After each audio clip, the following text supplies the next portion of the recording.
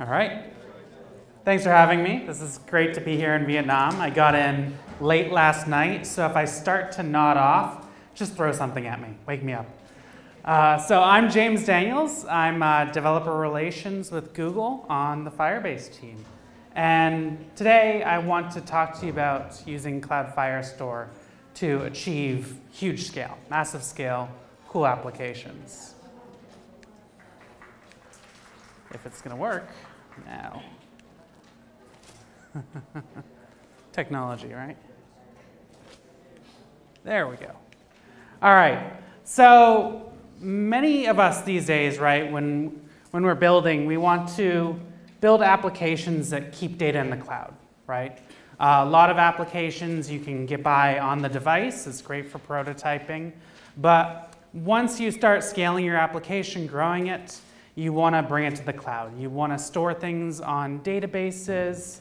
Uh, you want to you know, make it so users can have multi-device experiences, profiles, stuff like that, as well as monetization that comes with the cloud. Now, everyone knows like the pitfalls of, of running your own servers, whether that be GCP, Amazon, what be it, right? You have to manage them. You have to uh, you know, have ops teams keep them up and stable, handle peak throughputs, handle, you know, very few users coming into your application. Uh, and, and ultimately, you don't want to be overpaying for your infrastructure, and you need to be able to handle scale when you need it, right? So these are hard problems. And this is the typical approach, right? So you have this tiered infrastructure um, where you have your database servers and API, auth, sync, and you know, your SQLite. So ultimately, right, you have this database tier, you have your DBAs, strong opinions, MySQL, maybe you're using a new NoSQL solution, right? And this is the canonical layer in your application. Then you have servers that are maybe JSON API or GraphQL that you know, allow your clients to interact with that. And there's a lot of pitfalls in here. Ultimately, you know, if you're going a cloud-centric approach, this is this model that, uh, you know, if you've been building this stuff, this is what you're familiar with. This three-tiered application. So you have your presentation layer. This includes your, your applications, right? Uh, this is, includes your iOS, Android applications, your web applications. And then they go ahead and speak to your CDN or your API gateway, maybe some orchestration layer in there for A-B testing and experiments, analytics. Um, and then they talk to your cloud servers, right? They talk to your cloud servers, which the cloud servers are trusted and can access your database, whether it be Mongo, MySQL, Postgres, uh, you know, or, or any of our cloud offerings. Now, here, with all these arrows, right, these are all places that you can, you know, make mistakes. These are all places where you can introduce bottlenecks and complexity, right?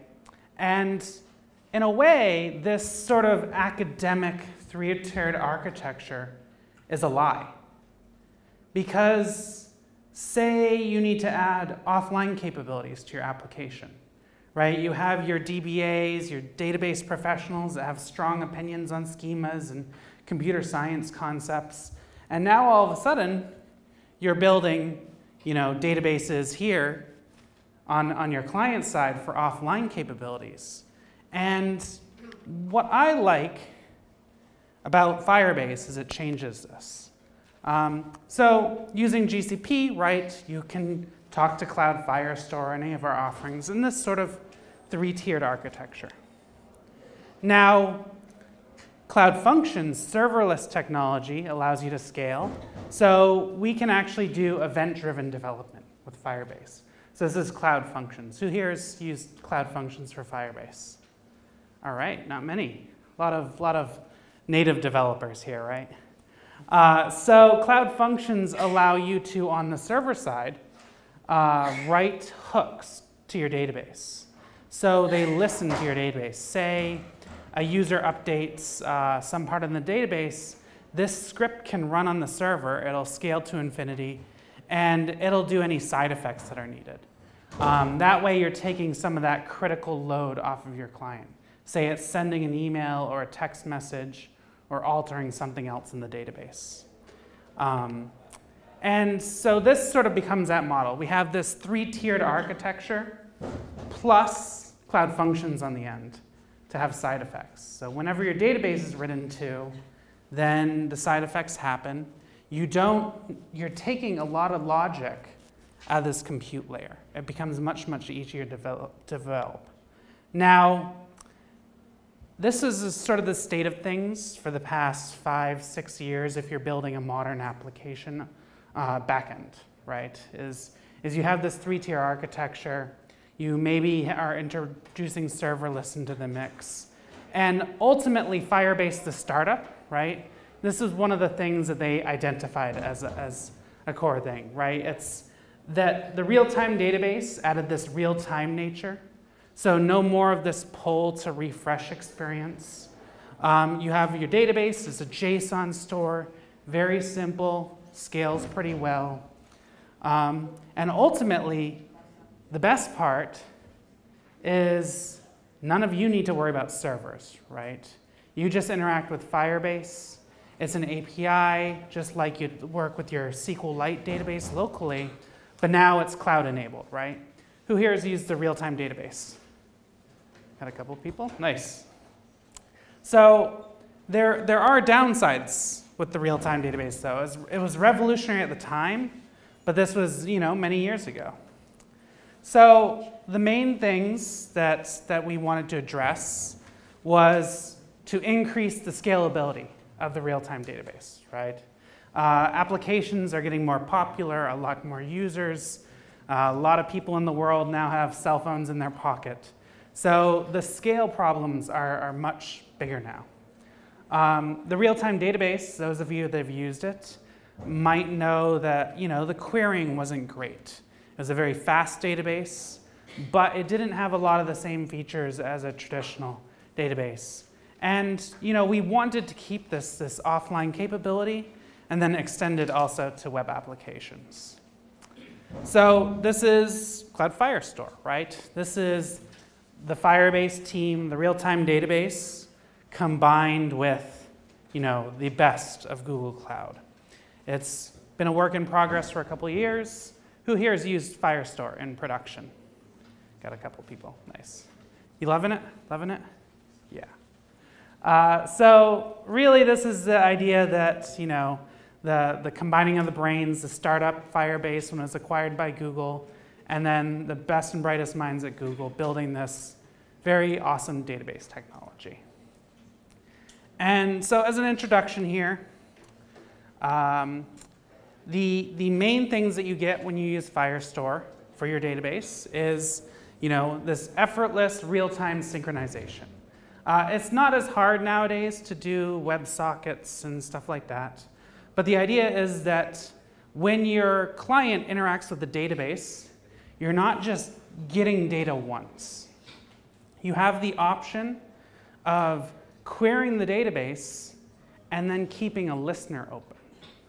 So whenever data changes on the database, it will stream those changes to the client, right? Uh, within milliseconds. It's this very magical experience.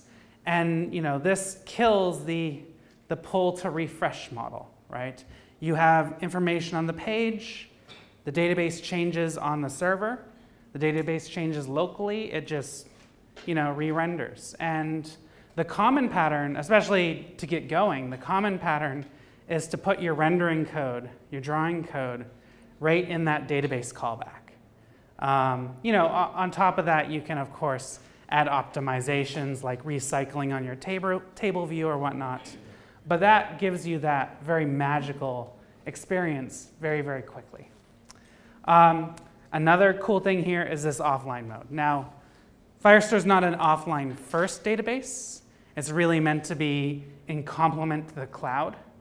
But the idea is that, you know, to you, the developer, you don't have to worry about whether or not the user's connected to the internet and do things like oh, well, I'm going to write to my local SQL database and then, you know, when they have internet connectivity again, reconnect to the, the, the GraphQL API and write things up. And what you've done there is, you know, if you do all that yourself, A, that's a lot of code, right? And a lot of things that you could get wrong. Uh, you could have network timeouts, you could have, you know, it's, it's sometimes it's hard to tell if, if uh, the users connect to the internet, right? Or maybe your servers are just down, or, you know, yada, yada. And then everywhere in there, you've just introduced more potential bottlenecks, right? Slow code, um, code that won't let you scale to, you know, 20 million users, 100 million users. So these are all opportunities that, you know, by using Google's technology, by using Firebase, it's transparent to you that it's offline enabled, and, you know, it can scale. And ultimately, what this means for you, the developer, the, the entrepreneur, the enterprise developer, what be it, is that you can move faster. You can build more powerful, more robust, more scalable applications quicker. And that is very important that you, know, you get to market faster, you get a product out there faster, and you interact with your customers faster. So developing better things faster is very important for business. So the, the, the Firestore backend, right, uh, we support sophisticated set of security rules, which along with Firebase authentication and cloud functions, allows you to build a secure application, a fast application, without much code on your side. And you don't have to worry about servers and databases, which is the best part. Uh, I you know, I've developed iOS and Android applications, but for the most part, I, I used to be a backend developer. And what I love about Firebase is now I don't need to manage servers. I don't have to worry about them going down. You know, what I can do is I can take my front end knowledge. I could take my the Kotlin that I know, the JavaScript that I know, the Swift that I know, build a cool application and then take that and, and then put those into cloud functions and do all this without servers. And it's part of the Google Cloud family, right? It has the best, best technologies there. It integrates with the rest of these and, you know, very awesome technology. So because it's built on top of Google Cloud Platform, we can take these sophisticated platforms, um, we can add multi-region support, right? So Firestore allows for multi-regions now. Uh, you can actually you know, set it up in an Asian data center uh, and you know, get that much closer to your users. This, these were things that were hard with Firebase as a startup. Uh, we have strong consistency and multi-document transactions, which are very, very cool for a NoSQL solution. So, you know, we're, we're taking this model where your app talks to the compute, talks to your database. Maybe you know you've modernized with cloud functions. But what we've done is, is here, right? Most people in the room, you're probably focused on this. And then you just have the server guys. And then the server guys have the database guys. And these people laugh at these people, saying they're not real developers. And then these people laugh at these people, saying that they're not real developers, right? So not only are you increasing the agility, but you're getting rid of those potential for flame wars. And you simplify the stack, right? Now your client application just talks to the database. And then, you know, all the side effects, all the server-side logic happens in these cloud functions that move very quickly and get things done fast. So what I really geeked out on when I started working on the Firebase team, what I loved the concept of was when I mentioned in that three-tier architecture the lie, the academic lie of, you know, your data is over here, you know, there's really strong computer science people thinking about that and people that know how to make databases scale. What Firestore and the real-time database before it have done is they've sort of brought the data layer to the entire stack, right? So your mobile application, you no longer have this, oh, the SQLite database that you know, the DBAs pick on and say that it's not a real database. You now have Cloud Firestore through the whole stack, right? Uh, and then if we're talking about scale, in the middle here, in, in the server infrastructure, caching, right? So if you have Redis or Memcache or something like that to make your application server faster, well, that's just another database, right? And of course, you have your, your fancy big databases here. But by adding this data layer all across all three tiers, you've you know, increased your agility, your potential to scale, and you know, you've, you've simplified some of these arguments between your back-end developers and front-end developers. And the cool thing here is this tight integration, right? Firebase, you could, you could definitely build all this yourself. Uh, you could build it on Google Cloud Platform like, like Firebase has done. But we also have these really cool tie-ins, uh, the tight integrations with you know, the, the Firebase authentication, the Google, uh, um, and Google Analytics. So these strong tie-ins allow you to build those robust applications fast. And of course, for any side effects, sending emails, sending text messages, you know, logging users in, servers calling other servers. That's what cloud functions are for, right? It's, it's serverless in the way that eating at a restaurant is kitchenless. There is a kitchen at the restaurant. You're not the one that has to manage the kitchen, though. Someone else does. Whereas if you're cooking at home, you need to manage the kitchen and do all the dishes. So uh, if, you, if you want to build a 20 million uh, user, 200 million user application, well, now you need to have a good enough kitchen for 200 million users. Or you just send it to Google, and we'll do all that for you. Now, especially server people and like the database people, when they hear about me talking about this model, where you just directly interact with your database, they always kind of freak out because there's security, right? Um, now, this is a whole nother topic, and and one that we'll definitely get into in code labs. Um, but how do we make it secure, right? You're talking to the database. So we have Firebase security rules.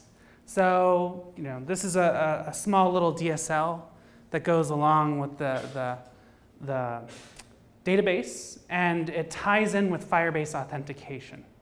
So like I mentioned, all these stitching all these products together gives you a much better experience. So these go along with your database, and you can, you know, write in this DSL listening to certain paths in the database. And you can allow certain operations or disallow them based off the user, right? So you could allow them if the user is authenticated, or you could deny any rights from a user whose billing has lapsed, right? And this allows you to take, again, the rest of that logic that your intermediary API servers were doing and allows you to offload that to the database and let Google do that work. So the model here is this a document-based model um, rather than you know a strict schema SQL type thing. And it has rich data types. So when you write to a document in Firestore, you can have strings, numbers, you know, uh, vectors, arrays, all that good stuff. But when you're designing for scale, you have to think beyond that. There's, of course, you have this top level collection, but the cool thing here is it nests, right? So a document can have sub-collections. Those sub-collections can have documents underneath them, et cetera, et cetera.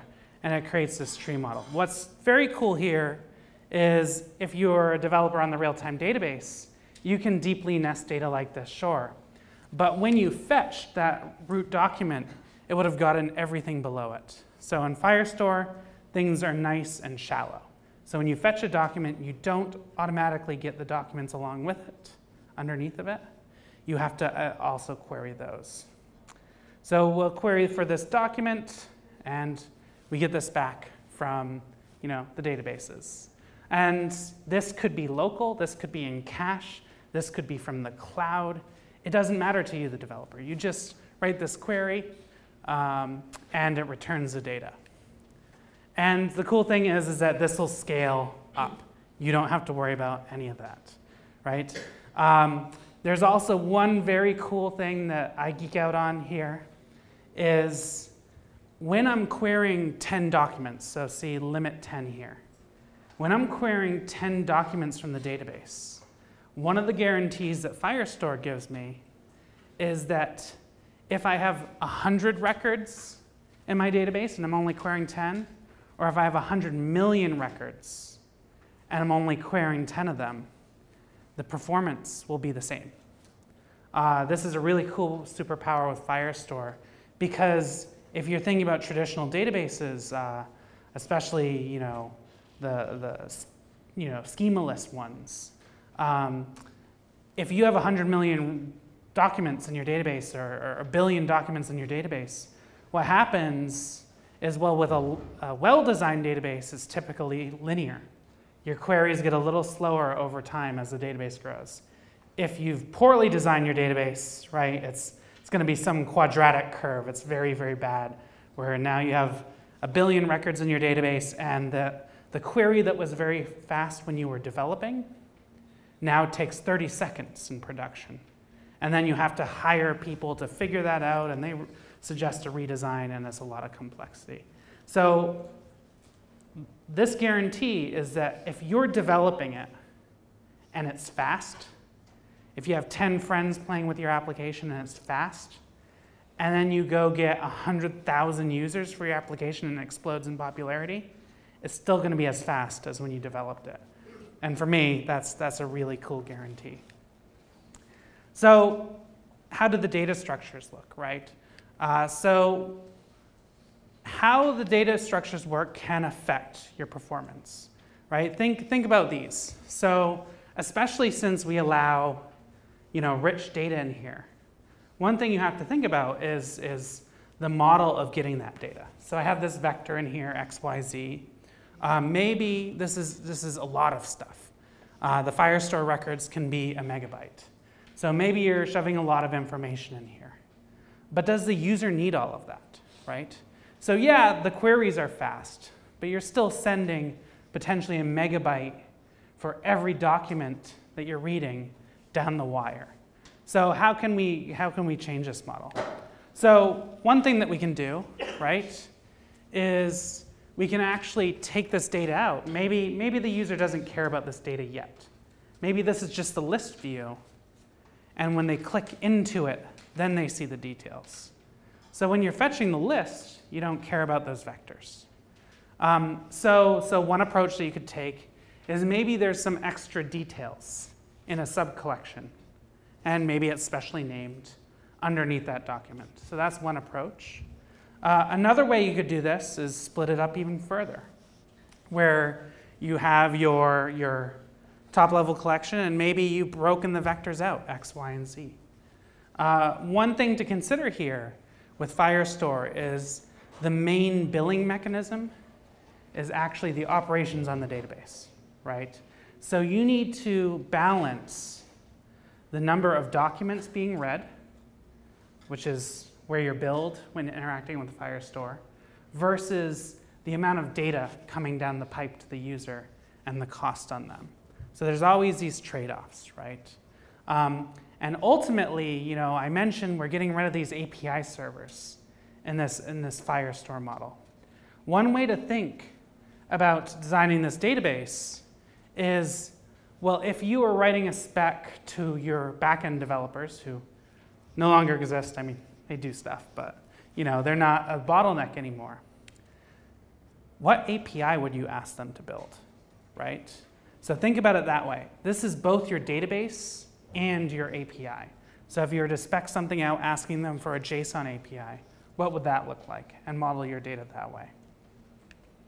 And of course, that's not the end of, of these. We can also um, actually shallow things up. So now we're no longer under a subcollection. We're under another top level collection. And then we can query these individually based off the, the bird ID. Right? This is starting to look more like a traditional database where you have multiple top level collections and you query on them. And this is not just, you know, uh, a matter of opinions, but also performance. These all have implications, size to the user and cost to you. And you have to strike that balance. Now, to strike that balance, let's think about, you know, the, the, the limitations. So the primary one that I mentioned already is each document, each individual document. Uh, these, they, they, can only be a, a megabyte in size, right? Not that you'd want to shove a megabyte into a document. Maybe you're querying 100 of them, and then the user has to download 100 megabytes, right? So think about that. But this is, this is one of the things to keep in mind. This is, uh, you want to shrink it down as much as possible, but you can go deep. You can make a large data structure. But then, you know, there's other products, right? So if you're storing images, you don't want to put the image, the base 64 data in your database go ahead and use cloud storage for that, right? There's, there's different products. So think about you know, using different technology for this. Um, maybe this doesn't affect you as a startup or a small company, but the bigger companies have to think about this. Is in your entire database, you get 40,000 indices. So an indices is going to be you know, that, that key into the database, but it's also going to be on every unique field. So this is a NoSQL database, right? So you can write any field you want into the data structure. But in order to make, make it, the querying on that fast, we automatically create indices for each new field in the database. So you can query on those. Now, if you're a big company, that might not work for you. If you're a small one, that's cool, it's performant, it's awesome. But there's probably a lot of unnecessary data that you don't care about querying on those indices. And in Firestore, one of the things that you can do is you can turn off these automatic indices. Um, so if you're a bigger company, you can turn those off, and you can choose to index, uh, make the queries fast for, for only specific ones. Um, and this is the one that especially smaller companies, more agile startups are going to run into as they grow, is on Firestore, you're only allowed one update, write, etc. per, and this is individual document. So if you have a user or, or a widget or one individual document that a lot of users are interacting with, maybe there's a timestamp on there or an upvote count, a downvote count, the number of comments on a blog post. One thing to think about there is that you can only write to that object once per second in a sustained manner. If you have, you know, an hour where, where a single blog post is very, very popular, and people leaving comments, and you have a comment count as a number on that document. If it's, if it's really popular and a lot of people are posting within an hour, it's probably fine. Now, if that sustains, over the course of a day, a week, yada yada, where, where you have a very popular blog post with a lot of upvotes, a lot of downvotes, and you have more than one of these operations per second, those are going to start timing out and failing. Uh, there's ways around this, of course, right? Um, we could go ahead and use cloud functions. So one of the things that we could do is sort of batch up our writes. We could say, oh, we'll trip a cloud function whenever it writes. Maybe, oh, check if the document was updated within the past five seconds. If it wasn't, let's just queue these up. But if you're familiar with Cloud Functions, that starts sounding like a lot of complicated code, right? Stuff that you could get wrong, uh, stuff that you know maybe you're introducing a bottleneck uh, or additional complexity. So ultimately, that's because Cloud Functions is meant for this very quick interaction when, when a user writes to the database. So so a user updates you know, some, some blog post and you want to send out a push notification to users. You want that to happen fast, right? Um, they're on demand, so when one crashes, it doesn't take out the others. And again, for this immediate fulfillment. So maybe the model's not right there. So the nice thing here is, you know, I mentioned that we're part of Google Cloud. Just because Firebase shows that as our concurrency model doesn't mean you have to, right? So there's other options. So one I like is Cloud Data Flow. When you start getting into these very complex cases, a nice thing for the, the people in this room, Cloud Data Flow, you know, Cloud Functions is, is written in Node.js by default. There's different variants of it. But uh, Cloud Data Flow has a Java option, so you're probably a little bit more familiar with programming those. Uh, and ultimately, this is a stream-based processing. It's meant for big data, large batches, and especially if you're talking about a popular upvote, downvote on an article, number of comments, stuff like that. This is really great for this, and it can scale to millions and millions of operations per second. So compared to Cloud Functions, right, uh, one of the things that's nice is especially when you're dealing with legacy APIs. Um, I don't know what the payment ecosystem is like here, probably more modern than it is in the United States and Europe, where we have a lot of legacy APIs, SOAP-based APIs, you know, uh, bad, bad, bad APIs. We, we have a lot of them. One of the problems with Cloud Functions is Cloud Functions can fire more than once. They're very fast. If we don't know if it succeeded, we want to get that job done. So it's going to refire. And you have to think about this and make Cloud Functions idempotent.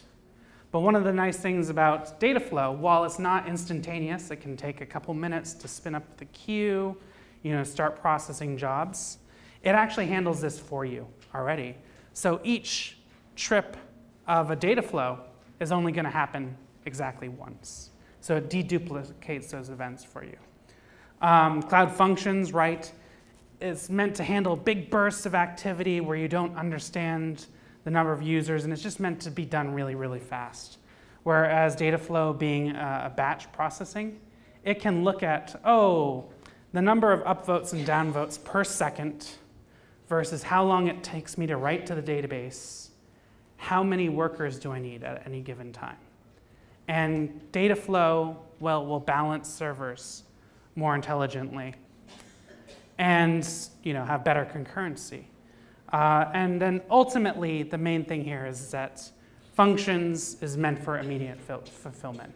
It's meant for a user clicks a button, a user creates their first account or hits that forgot password link. It's for those immediate things where you, the user needs input. Whereas this is really meant for more functional programming over streams where you know, latency isn't as much of a concern as you know, predictable costs and scaling.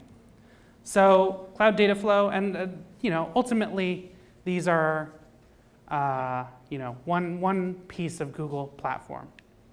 Um, now, how, how do the queries work in Firestore? Let me touch back on that. So ultimately, I mentioned these indices. And you know, they look a lot like this. It's just a table. And when you query something, right, uh, say we're looking up all the Japanese restaurants, what it's going to do is it's going to look for the, the first Japanese restaurant and scan over the table. This is how those queries look. Now, when you have these compound queries, right, you're querying on multiple items, say I want to get Japanese restaurants with a rating of four, you have these composite indices, right? And these are just, again, scans, where it looks for the first restaurant that matches that, and it scans down the index until it finds it. Now, in the real-time database, you definitely could have done this yourself, right? Um, but the cool thing is Firestore does it for you. Um, now, things that you can't do, right? There's all kinds of, uh, I've had really smart computer scientists explain to me, you know, the, the performance implications and the technology.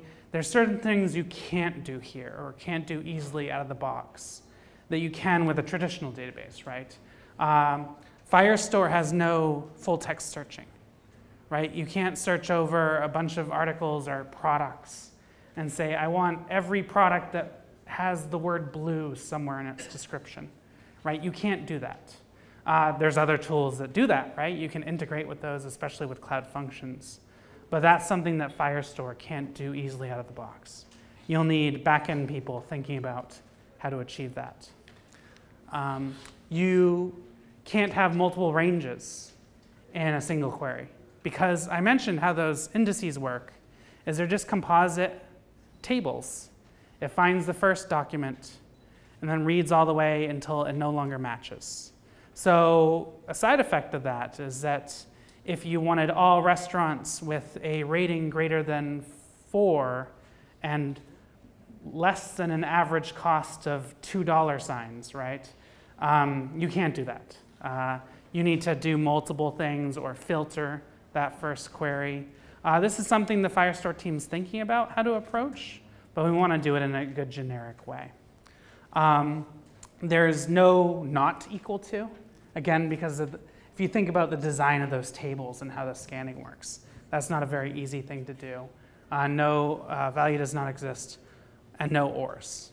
That's, that's a big thing, is no ors. You can't say all Japanese restaurants or all Irish pubs, right? You can't get that, those, those multiple things. Now, the nice thing is because all these queries are happening over a, a connection, an existing connection to the server, um, doing multiple queries yourself is not like you're interacting with a server where, all right, well, if I do n queries, it's going to take 350 milliseconds times n, you know, plus 1 to the power of 6 you know, all that complex O to the N math. You don't have to worry about as much because that connection to the server already exists. So it's very cheap to say, well, I want all Japanese restaurants and all Irish pubs. And then you can do the intersection, you know, uh, removal on the client side. So this is something that you can do yourself. The main thing you have to think about there is if you're doing, you know, two queries and intersecting them itself, then the intersection is going to cost you double. So again, price, price things to think about. Or you could just integrate with something like, you know, uh, your SQL database or, you know, uh, BigQuery on the back end. So you can just choose a different technology for those. So there's, there's readable workarounds. So ultimately, right, uh, the nice thing here is if it works, it works. It's going to work as you scale up your application. If it's fast when you're developing it, it's going to continue to be fast. And think about how the indices are made. Um, and you know, don't, don't expect too much from it. It's, it's more powerful than a real-time database, but it is not you know, a traditional backend SQL server where you can have it do a lot of very, very advanced querying, joining, ors, etc. Um, it's a fast, fast data store. Um, now, putting it all together, right, this, was, this is the Firestore native architecture where your client SDKs are directly talking to Firestore, and then all side effects are happening through Cloud Functions, uh, most of them. Um, you get out of this this effortless real-time synchronization where you don't have this pull to refresh. You get offline capabilities out of the box and ultimately, this allows you to build better applications faster. Um, if you need pieces that don't fit the Firebase, our chosen technologies, you're part of Google Cloud, right? So here, instead of uh, Cloud Functions, we can use Dataflow or tools like that to get around some of the operation limits of handling you know, a Firestore when you have millions and millions of users, or very, very popular article, article or something like that. So you can use Dataflow to smooth that over or other technologies. Ultimately, don't try to put a square peg through a round hole just because this is the Firebase way of doing things. Think, think, can I use another Google property to achieve this with more scale and better? And uh, one last thing I wanted to pitch, if you're building backend stuff, if you have servers that you're running, maybe you don't like Node.js, right? Uh, maybe you want to develop your backend in Java or Swift or Kotlin. Um, one last thing I wanted to pitch here was uh, we recently launched an integration with a new product out of Google Cloud called Cloud Run. And what these are are just Docker containers running on the cloud in response to HTTP requests or events. And you can write them, because it's Docker, you can just write them in whatever language you want. So if you want to make a cool backend in Kotlin or Swift or even just Node.js or something like that, uh, these are Docker applications, very fast to spin up, and uh, I'd recommend checking that product out. We have a cool integration with them. Uh, so thank you very much. I hope I gave you the down low on Firestore and how you can use Firestore in Google Cloud to achieve very high throughput on your applications, handle millions of users, or at least just gave you a little bit to know that we can do that and that we can support you if you achieve, achieve massive scale. And thank you very much. I'm glad to be here in Vietnam. I'm James Daniels.